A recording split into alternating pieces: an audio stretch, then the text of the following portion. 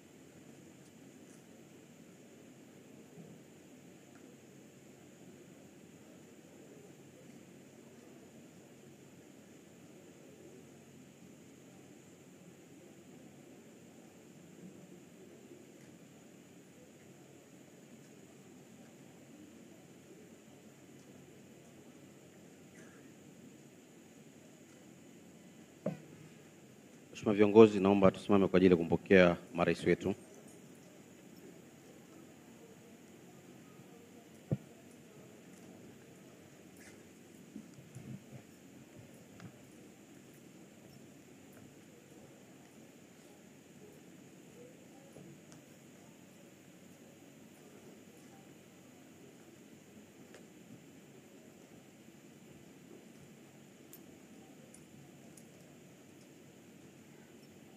Naomba tukae.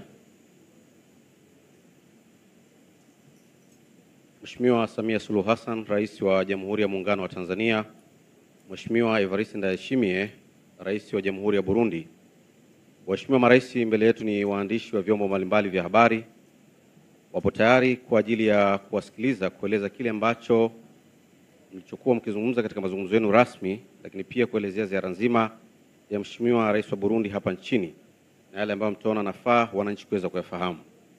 Kwa kwanza ni kuombe Mheshimiwa Rais wa Jamhuri ya Muungano wa Tanzania, Mheshimiwa Samia Suluhu Hassan, ili uweze kuzungumza na waandishi wa habari. Tafadhali Mheshimiwa Rais.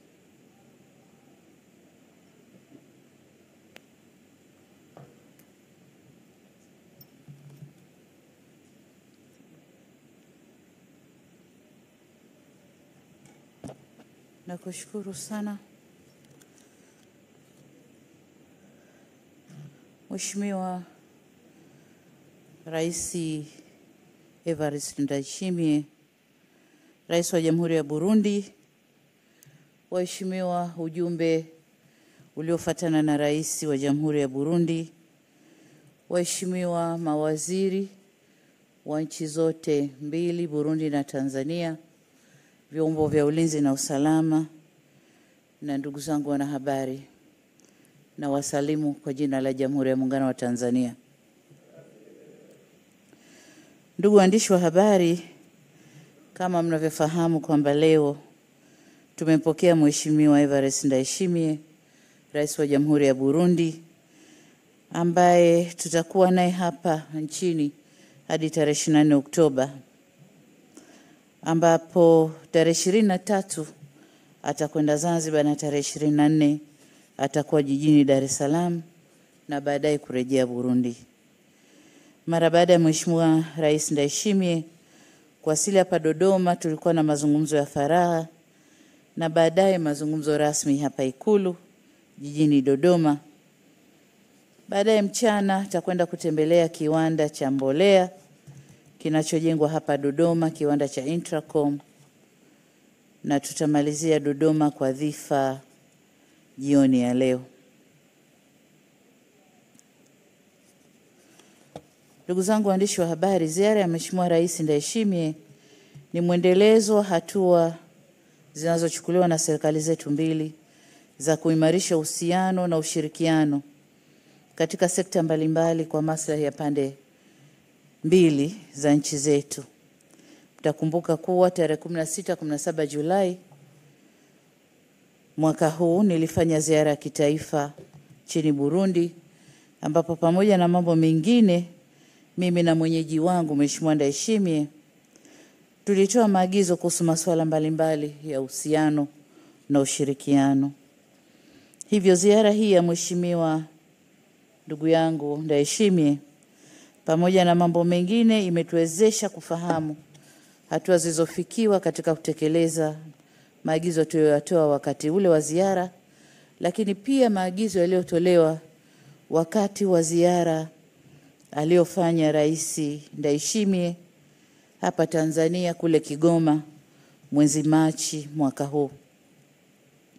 Ndugu waandishi wa habari, wakati wa mazungumzo yangu na Mheshimiwa Rais tulizungumza na kukubaliana masuala mbalimbali ya uhusiano na ushirikiano baina yetu yakiwemo kwanza uhusiano kati ya Tanzania na Burundi ambapo nilimweleza Mheshimiwa Rais kwamba Tanzania inaridhishwa na uhusiano mzuri na wa kidugu uliopo kati ya nchi zetu na kusisitiza juu ya umuhimu wa uhusiano huo kuendelezwa.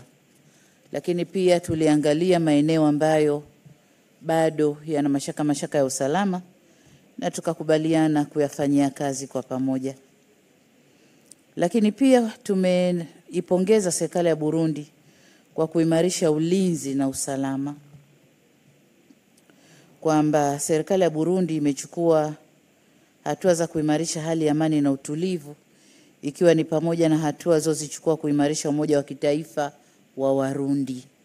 Warundi sasa hawazungumzi makabila, wanazungumza kabila moja la Warundi na sio yale ambayo waligaiwa na watawala wao. Lilimweleza kwamba Tanzania inaichukulia Burundi kuwa ni ndugu, rafiki na mshirika wa karibu katika kuhakikisha kwamba eneo la maziwa makuu linakuwa salama, lenye amani na utulivu. Vilevile nilimweleza kwamba serikali ya Jamhuri ya Muungano wa Tanzania inaungana na Jamhuri ya Burundi kulaani matukio ya kigaidi yaliyotokea tarehe kumi na nane na ishirini uh, Septemba mwaka huu yaliyosababisha vifo vya watu sita na wengine karibu hamsini kujeruhiwa pamoja na uharibifu wa mali, na haya ndio tuliyoyazungumza na kuona um, tupange mikakati ya kuyashughulikia. Pia tulipongeza serikali ya Burundi kwa kuimarisha uchumi. Kama mnavyofahamu kwamba kutokana na utulivu ulioko Burundi sasa, uchumi wa Burundi umeendelea kuimarika, lakini nilimpongeza sana kwa jitihada za kupambana na rushwa. Vile vile nilimpongeza kwa jitihada zinazochukuliwa na serikali katika kufufua na kuimarisha uhusiano na ushirikiano na nchi wahisani wa jumuiya ya kimataifa kwa maslahi ya nchi ya Burundi. Swala jingine tulilolizungumza ni utekelezaji wa maagizo ya mkutano wa sita wa tume uliofanyika kule Kigoma, na kwa upande wa ushirikiano wa kiulinzi na kiusalama uh, nilimhakikishia Mheshimiwa Rais Ndayishimiye kwa Tanzania itaendelea kushirikiana na Burundi katika kulinda na kuimarisha ulinzi hususan katika mipaka yetu.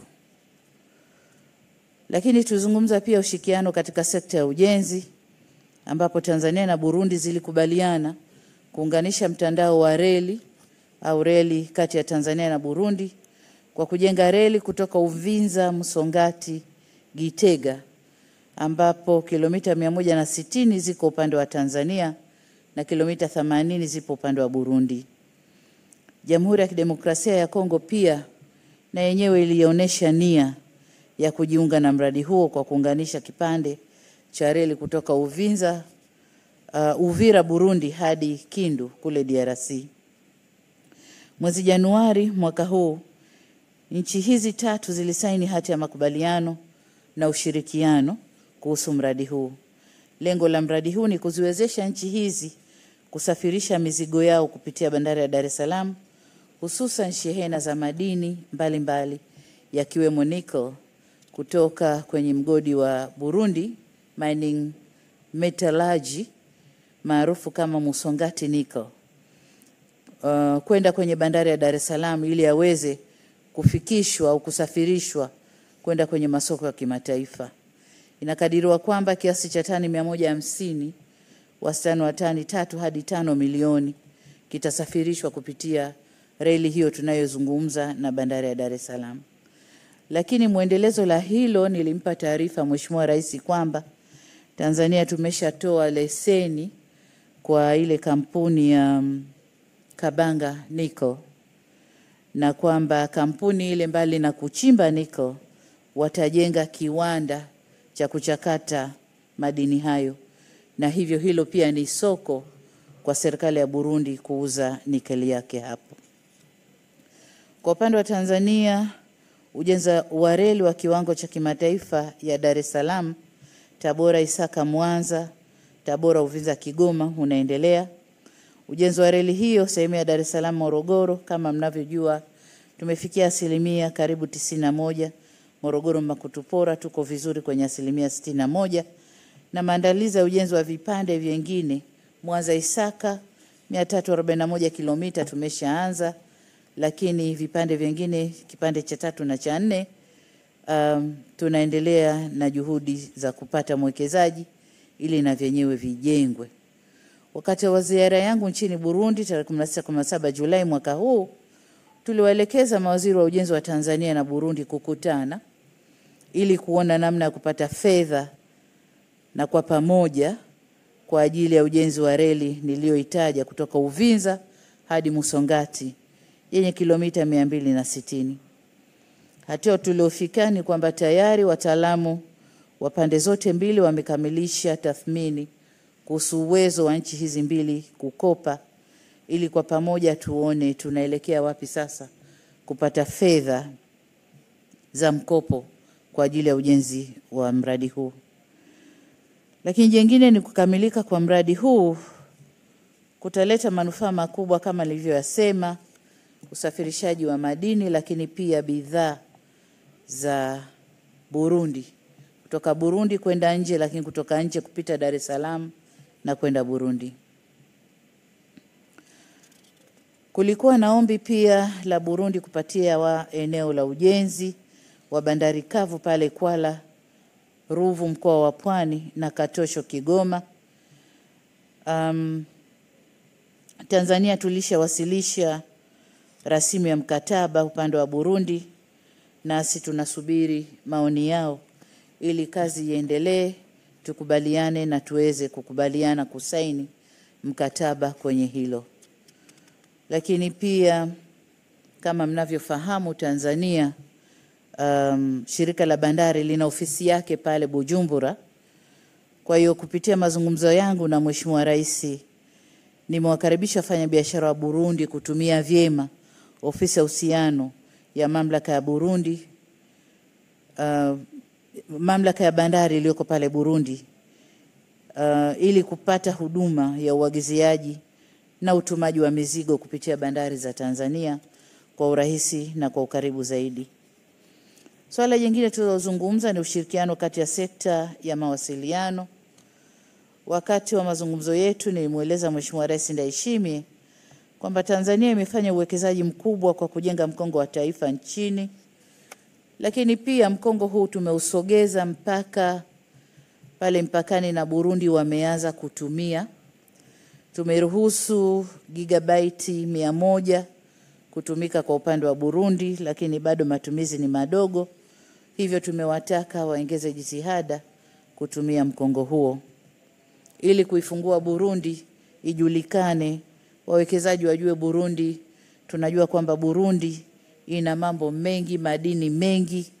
Kwa hiyo ni vyema wakatambulika, wakajulikana duniani na wawekezaji wakaenda upande wao.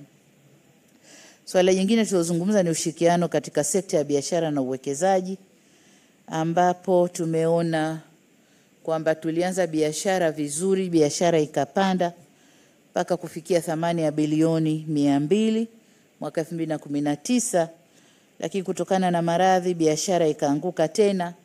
Hivyo tumeweka haja ya kushirikiana na kuangalia vikwazo vilivyopo, ukiacha maradhi, ili biashara ipande tena, kwa sababu tumeona kuna kila fursa kuzitumia ili biashara iweze kukua baina ya nchi zetu.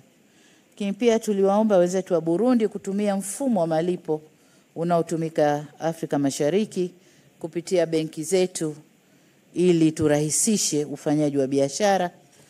Na katika kikao kile tumewataka magavana, gavana wa Benki Kuu ya Tanzania na gavana wa Benki Kuu ya Burundi, wote wako hapa, wakae wazungumze, waone tutakavyoweza kufanya. Tulizungumzia kiwanda cha Intracom cha mbolea kinachojengwa hapa Dodoma. Nasi Tanzania tumeshukuru sana kwa Burundi kutuletea mwekezaji huyu, na tumeahidi kutoa ushirikiano wote ili kiwanda kile kimalizike mwakani, kianze kuzalisha mbolea ambayo itatumika Tanzania na nyingine itasafirishwa. Lakini katika hatua nyingine, kama mnavyojua, duniani sasa hivi kuna ukubwa uhaba mkubwa wa mbolea na kwamba mbolea imepanda bei sana.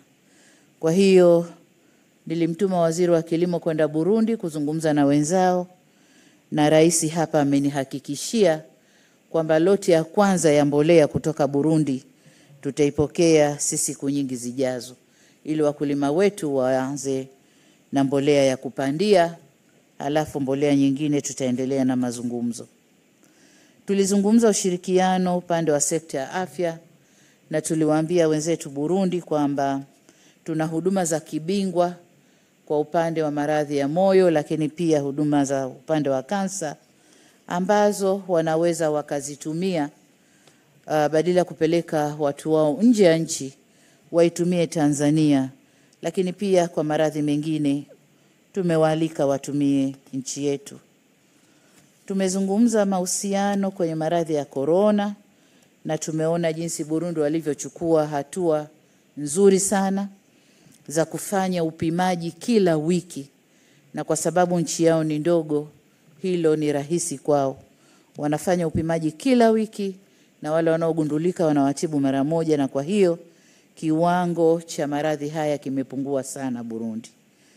Uh, lakini pia nimewapongeza kwa hatua za kuanza kuchanja watu wao nami nikamweleza kwa upande wetu hatua tulizochukua na maendeleo yetu kwenye chanjo. Kwa hiyo tumekubaliana kuongeza ushirikiano pia kwenye eneo hilo. Eneo jingine tumekubaliana kuweka mahusiano makubwa kwenye vyama vyetu vya siasa, vyama vinavyotawala nchi yetu, Chama cha Mapinduzi na chama cha National Council for the Defense of Democracy CNDD FDD. Um, mwisho tuliwashukuru ndugu zetu wa Burundi kwa kufanya ziara hii. Nimemshukuru sana ndugu yangu Everest kwa kuamua kuja wakati huu. Tumefanya mazungumzo mazuri na tumekubaliana sasa wataalamu wetu, mawaziri wetu na wataalamu waanze kubadilishana ziara kwenda kujadili yale ambayo tumekubaliana na kusukuma utekelezaji wake. Asanteni sana, na sasa Nimkaribishe Rais Evarist ndaeshimi na yeye aseme yale ambayo tulizungumza kwa upande wake. Asante sana, karibu.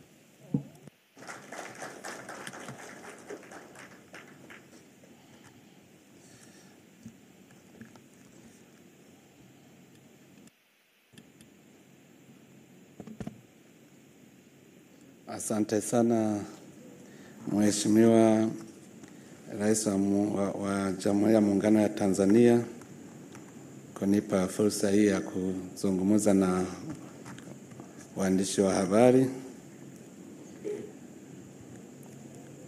Mengi ulishasema, ni kuhakikisha tu kwamba na mimi nakubali ambayo uliyoyasema.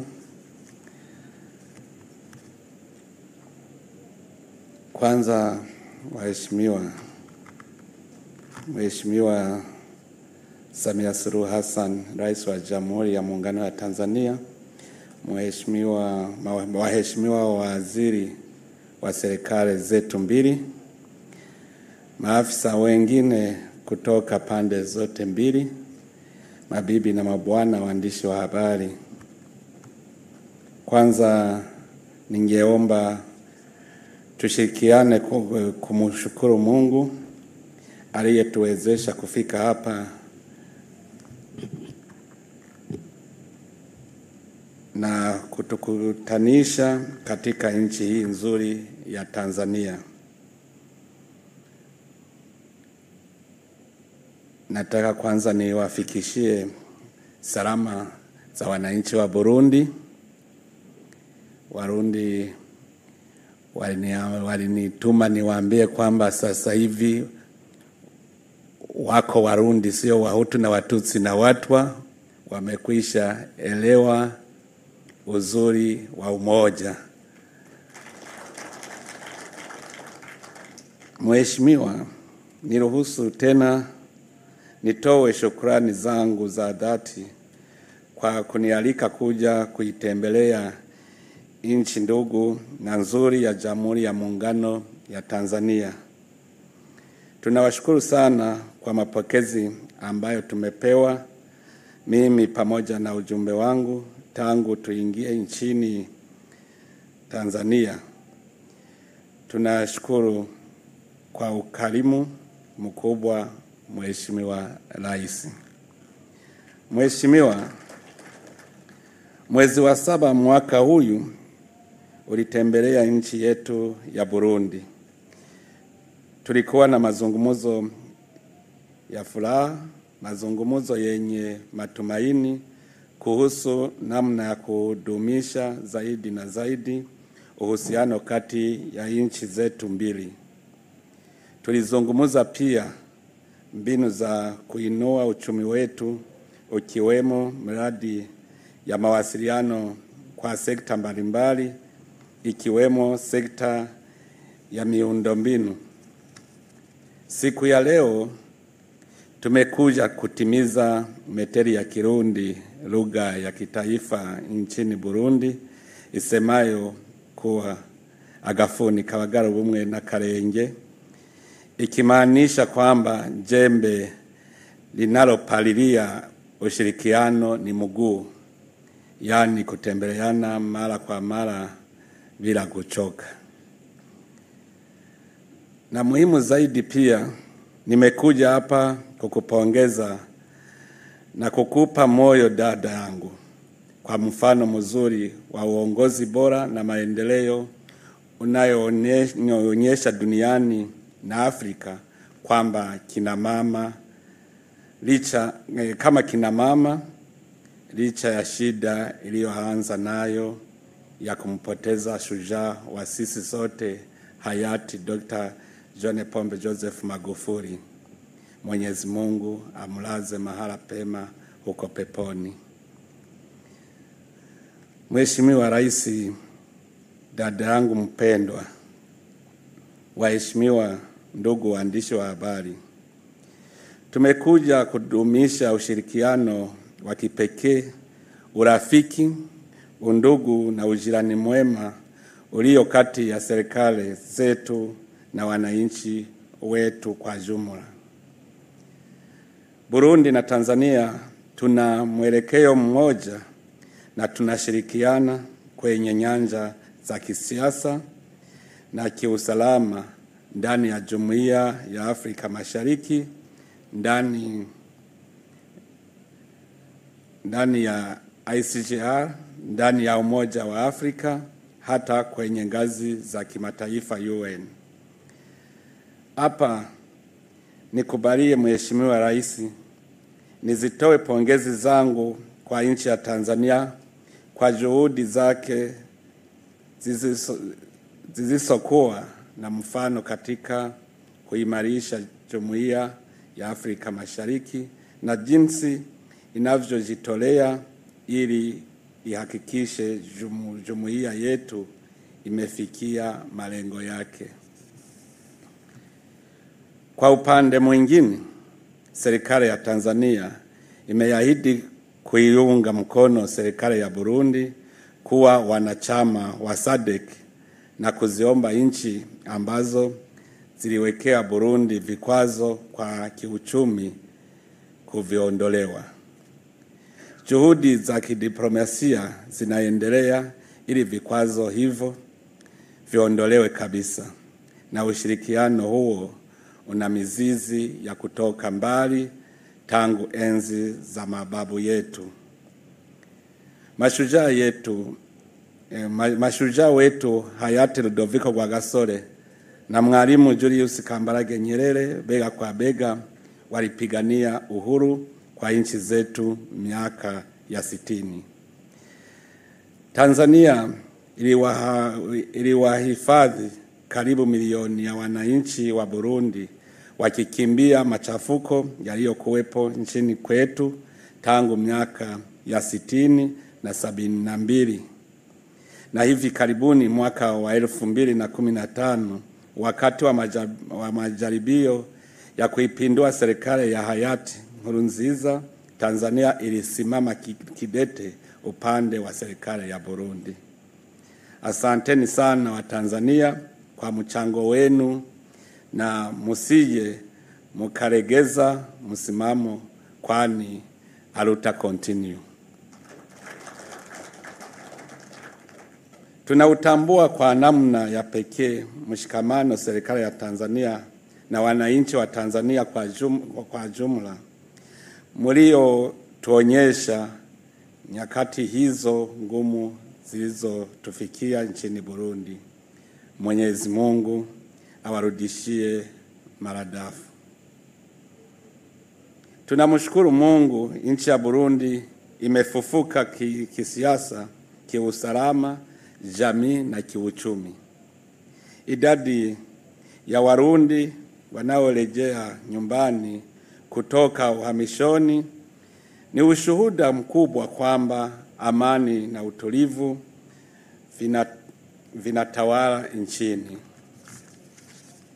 Kwa fursa hii napendelea kutoa shukrani zangu za dhati kwa Mheshimiwa Rais Samia Suluhu Hassan, Mheshimiwa Rais Uhuru Kenyatta, Mheshimiwa Yoweri Kaguta Museveni, bila kusahau jumuiya yetu ya Afrika Mashariki kwa juhudi zao. Vile vile tunam tunamshukuru Mungu kwa kusikia maombi yao ambayo yalipelekea vikwazo hivyo kupungua na kuelekea kutoweka kabisa. Ndugu waandishi wa habari, kumbukeni kwamba ziara yangu ya kwanza nchini Tanzania niliifanya mnamo mwezi Septemba mwaka wa ishirini na mbili na ishirini ishirini na kukutana na marehemu Rais Mheshimiwa Dr. John Pombe Joseph Magufuli katika mji wa bandari wa Kigoma. Ziara zote mbili, leo na ile ya Kigoma, zinalenga kudumisha faini ya kidiplomasia na uchumi. Hapa nitataja mifano michache pekee. Upande wa Burundi, nchi bado haijasonga mbele katika sekta ya madini. Iko tayari kujifunza utaalamu wa Tanzania katika sekta hii na hati ya makubaliano na hati ya makubaliano ya ushirikiano katika se- sekta ya madini tayari imesainiwa. Burundi hivi karibuni itaanza kuagiza makaa wa mawe kutoka Tanzania ili kuendeleza tasnia ya, yake ya chuma. Nchi zetu mbili zimekubaliana kuhusu njia ya kufadhili kazi za ujenzi wa reli ya Uvinza Msongati na kazi zinaweza kuanza hivi karibuni. Serikali ya Burundi tayari imeanza kazi ya kukarabati na kuifanya ya kisasa, ya kisasa bandari ya Bujumbura ambako kumetengwa sehemu ya ujenzi wa meli. Baada ya kuhitimisha kazi kwenye bandari hiyo ya Bujumbura, usafirishaji, usafirishaji wa bidhaa na watu kati ya Bujumbura, Kigoma, Murungu, nchi, ya Zambia, bila sahau Kalemi, nchi ya Jamhuri ya Kidemokrasia ya Kongo, itakuwa rahisi sana tena kwa bei nafuu. Kazi za ujenzi wa barabara ya Mugina Nyanzarake zimekamilika, wakati zile zilizo kwenye barabara ya Nyanzarake Rumonge Gitaza zimeanza hivi karibuni, zimeanza hivi karibuni. Sehemu ya Kitaza Bujumbura haitachukua muda mrefu kujengwa pia. Barabara hii itapunguza umbali na gharama za masafari za wasafiri wa marori ambao wanapaswa kufanya mtaro mrefu kwa sababu sehemu zingine za barabara ya Mugina na Bujumbura hazipitiki. Serikali ya Burundi inashukuru sana serikali ya Tanzania kwa kuahidi maeneo mawili kwa ujenzi ya bandari kavu ambayo itaruhusu kupunguzwa kwa gharama za usafirishaji na faini kwa wale biashara zao zitazidi muda katika bandari la Dar es Salaam. Kama sehemu ya ushirikiano katika sekta ya kilimo, Burundi iliomba Tanzania kuipatia ardhi inayofaa kulima karibu na mpaka ili kuongeza mazao yake ya miwa na hivyo kuongeza uzalishaji wa sukari. Tungependa kutoa ombi kama hilo kwa mazao mengi ambayo watafanufaisha raia wa nchi zote mbili. Kuhusu vita, vita dhidi ya janga la COVID-19 tunafurahishwa kwamba kuna mafanikio yaliyokodiwa katika kampeni zetu kote nchini. Burundi imeweka kipaumbele hatua za kiafya, hasa kuwataka raia kutosogeana na upimaji, ili mara tu baada ya kuambukizwa mgonjwa atibiwe nyumbani na baada ya kupona anaweza kufanya shughuli zake za kila siku. Tunajivunia pia kuwa juhudi za pamoja za nchi zetu mbili zimefanya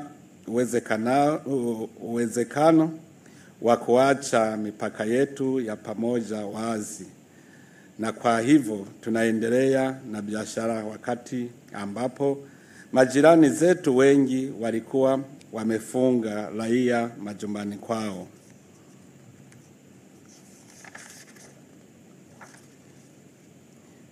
Mwishowe, kampuni ya Burundi ya Itracom inayotengeneza mbolea za madini tayari imewasili nchini Tanzania na, taya, na, na itajiri, itajiri wafanyakazi wa Burundi na Watanzania kwa usawa. Tanzania itanufaika sana kwa swali la uagizaji mbolea litatoweka na pesa zilizookolewa zitaweza kuwekezwa katika sekta zingine. Ndugu waandishi wa habari, huyu ni, ush, ni ushuhuda kwamba wafanyabiashara wenye busara Burundi na Tanzania wanasaf, wanasafiri kwa mashua moja, ingawa uboreshaji inahitajika hapa na pale. Nanufaika na fursa hii ili kuwatolea wito wawe, wawekezaji wengine kuanzisha biashara zao katika nchi zetu hizi mbili. Kwa kuhitimisha, napendelea kumfahamisha Mheshimiwa Rais Samia Suluhu, uh, Suluhu Hassan na raia wote wa Tanzania kwamba tunaishukuru kikamilifu nchi ya Tanzania kwa kubali kubeba mzigo wa kuwakaribisha kuwapokea kwa, kwa mikono miwili Warundi tangu miaka ya sitini wakati wa mauaji ya mwaka sabini na mbili na kuwarahisisha wakimbizi wanaohitaji kurejea nchi toka, eh, toka amani iliporejea nchini Burundi. Ifahamike kuwa zaidi ya laki mbili kati yao walipewa uraia zam, e, zama za utawala na Mheshimiwa Rais Jakaya Mrisho Kikwete. Sasa wana haki kamili kama raia wa Tanzania. Tunawashukuru sana. Waheshimiwa, kabla sijamaliza, niseme machache kuhusu usalama. Upande wa usalama, ushirikiano mzuri uliopo kati ya vyombo vyetu vya ulinzi na usalama kwenye mpaka yetu ni wa kuridhisha. Haya ni matunda ya ujirani mwema na kupashana habari kati ya viongozi wetu na wananchi wetu waishio mpakani.